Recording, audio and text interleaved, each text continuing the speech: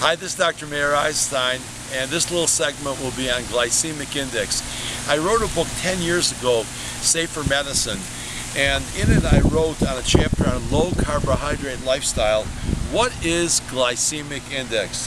The glycemic index is the amount of time it takes the insulin to get into the bloodstream from the time you ingest the food until there is a rise in blood glucose level. White bread with a glycemic index of 100 is the standard. The higher the glycemic index, the faster the insulin level is going to rise. A quick rise will cause a quick drop and make you hungrier and fatigued faster. So you really want to take a look at low glycemic index foods. We talked about grapefruits, very low glycemic index. We talked about apples, very low glycemic index. We talked about stevia, even lower, zero glycemic index. Uh, an incredible way of looking at different ways, another part of the Healthy Natural Diet Loss Program.